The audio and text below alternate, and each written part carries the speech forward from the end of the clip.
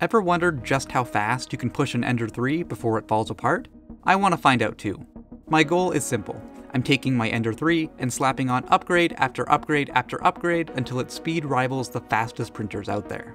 Today, we're going to go over what I've been working on over the past couple of months, and also talk about the things I still need to figure out.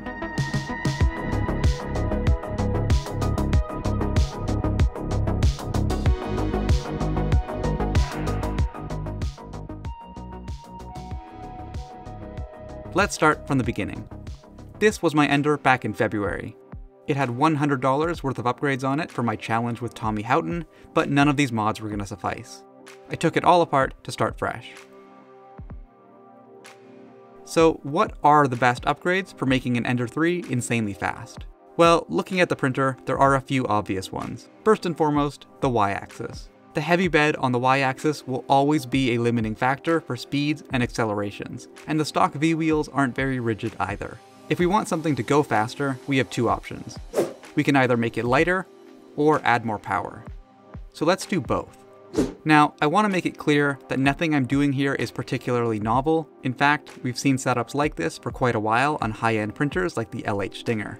As you can see here, the Stinger has a bed made from a carbon fiber plate, which is super rigid and also extremely light. We can also see that the y-axis has two motors on it. An all-wheel drive setup like this has twice the power and half the effective belt length, both of which are beneficial for printing fast. I considered just stealing the LH Stinger's y-axis and putting it on my Ender, but I think I can up the ante even more. This is KevEnder, and it's currently the fastest 3D printer on the planet. Kevin designed some all-wheel drive motor mounts, as well as a handy bed mount that uses linear rails instead of V-wheels. The only downside to Kevin's setup is that it uses 6mm belts. Why is this an issue?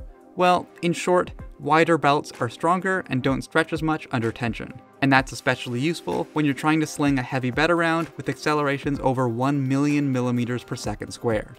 The LH Stinger that I mentioned earlier uses 9mm belts on Y, but I decided to go even further and try for 12mm belts on my build. I took Kevin's CAD and modified it so everything would fit. I also moved the idlers up so the belt path would be more in line with the rest of the bed, rather than pulling on the whole assembly from the very bottom. I really should have opted for live shaft idlers here, as normal toothed idlers limit me to around 15 pounds of belt tension before the bearings inside them start to die. Hopefully that'll be good enough.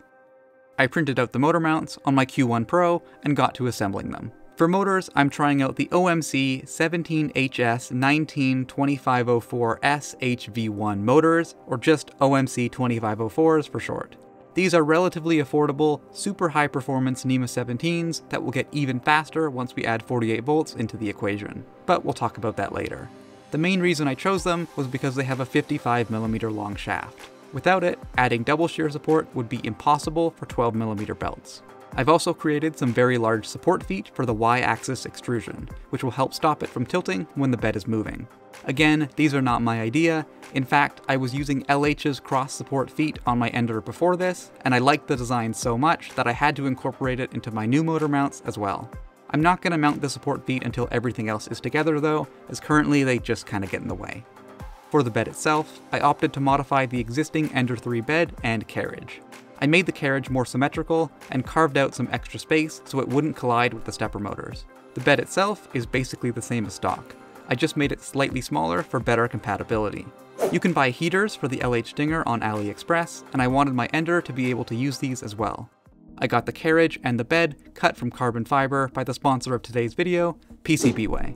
PCBWay does way more than just PCBs. Of course, they offer high quality, affordable PCB manufacturing, but did you know that they also offer CNC machining, laser cutting, and even 3D printing? Whether you're just a hobbyist or prototyping your next big project, PCBWay has all the tools you need to bring your ideas to life. For today's video, I've used their CNC machining and laser cutting services, and the quality and turnaround time are seriously impressive. Check them out using my link below, and thanks again to PCBWay for supporting the channel. I was not expecting the carbon fiber to be so light. I'm going to weigh the two bed setups back to back and see just how much weight we shed. Starting with the stock bed and the glass print surface, it's looking like right around 1300 grams all in. Pretty heavy. Of course, most people who do want to print fast won't be using a glass plate anyways, so let's take that off and measure again. Without the glass, the y-axis comes in at around 900 grams, which sounds like a lot, but isn't bad at all. That might actually be lighter than the y-axis on my Vorons. Now, let's measure the carbon fiber parts. Of course, we also need to consider the extra mass of the printed parts, but all in all, this new setup looks to be just under 450 grams. One thing to note, that 450 grams isn't considering the mass of the two MGN12 carriages that the bed attaches to, so it's probably more like 500 grams once you add those in. Still though, that's a huge improvement over stock, and I'm really really pleased with the results. Now, let's actually get the y-axis installed.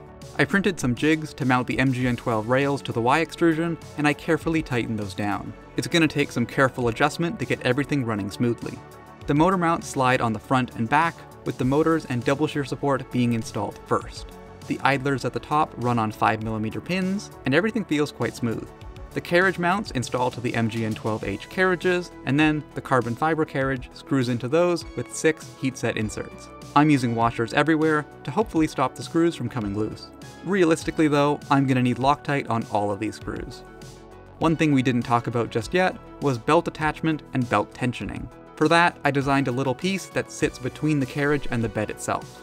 One side clamps the belts into place, and on the other side we have a tensioning mechanism. With a long enough hex key, we should be able to tension the belts even when the bed is installed on top, and that's thanks to these access holes in the back. I'm quite proud of how this all turned out, but only time will tell if it actually works. Next up, we can move on to the X and Z axis.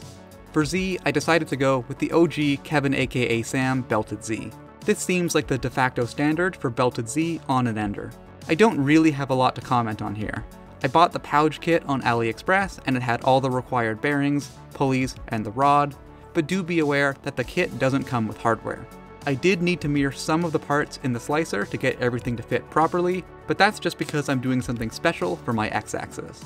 You see, I wanted to go all-wheel drive on my x-axis as well, and I figured the easiest way to do this would be by simply replacing the idler on the right with a copy of the motor mount on the left. I got this piece laser cut and anodized by PCBWay, and I'm pleased to report it matches exactly with the stock piece. I had to install this plate using T-nuts since the stock holes didn't line up, but that's not an issue. For the X motors, I'm once again using OMC 2504s with a printed housing for double shear support.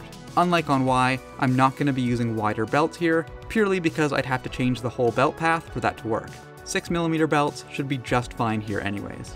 Now that we have the X-axis mostly assembled, we can put the whole thing together on the printer. Getting everything aligned here was pretty annoying, but it was worth it, because in the end I had a super simple all-wheel drive setup. One thing you've most likely noticed is that there's currently no way to tension the belts. That's a problem for future me when I'm working on the toolhead. Speaking of the toolhead, that's something I still haven't figured out just yet. I had good results with the dual overvolted 5015s on the budget build, in fact, those cooled so well that PLA parts would warp clean off the bed with anything over 30% fan speed. However, I'm concerned about reliability with a setup like that. There's also the mass of the fans to consider as well. For maximum performance, I'd like to try CPAP cooling, but to my knowledge at least, there aren't any existing Ender tool heads that support it. Between this and the belt tensioning, I will most likely need to make something completely custom. I have lots of time to think about what I want to do, since unfortunately I'm not going to be able to work on this Ender until September now. You see, I moved to a different province for the summer and I wasn't able to bring everything with me. As of today, I'm still working on getting my future YouTube studio assembled inside of this garage. But once that's done, I'll be back to videos as normal. This space is actually a lot larger than back home, and I'll be able to try some new projects that I wouldn't be able to do otherwise. Alright, I'm gonna leave it here for today folks, if you have any ideas for upgrades I should install, or think I should have done some things differently, please don't hesitate to let me know in the comments section below. I'll see you guys in the next video.